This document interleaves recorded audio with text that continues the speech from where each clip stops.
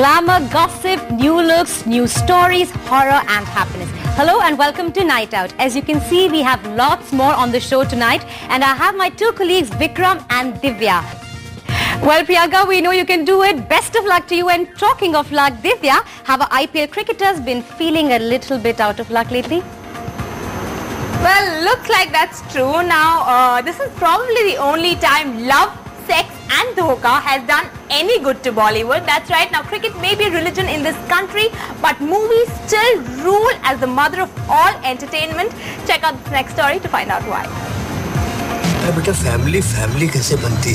This year, between March and April, 25 films have released. That may not sound like a big deal, except it is IPL season.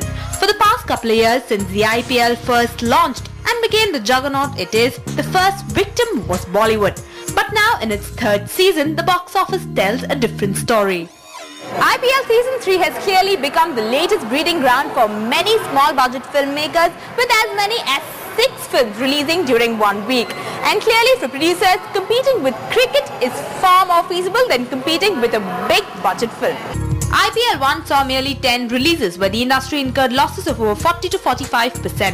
IPL 2 did not see a single release thanks to the producer multiplex standoff. IPL 3 sees over 25 releases and up till now a handful of them like Love Sex and Dhokha and Well Done Abba have even managed to recover costs. In terms of audience response, it was almost overwhelmingly uh, positive. And if it's not just unconventional methods of movie making, producers hope to lure audiences with action thriller and horror flicks. But even then, it's a risk only a handful of them wish to take.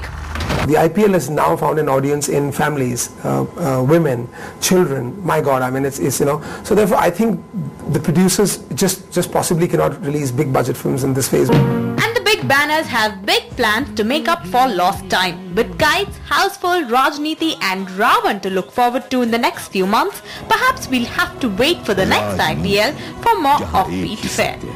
In Mumbai, Debya Unni for NDTV.